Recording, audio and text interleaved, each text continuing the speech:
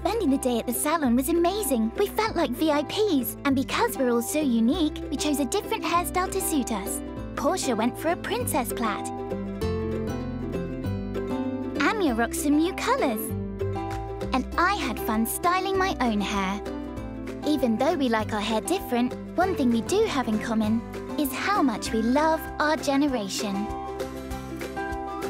Our Generation, available at Smith's Toy Superstores.